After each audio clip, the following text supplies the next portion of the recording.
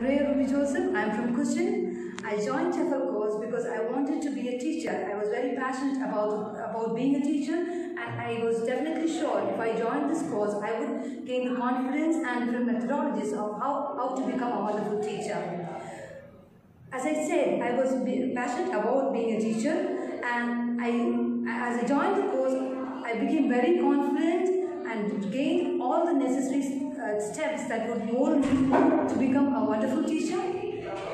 And I would definitely recommend to my friends and my colleagues, whoever I meet, if they are passionate about being a teacher or if they need a change in their career. And I would definitely refer Asian College of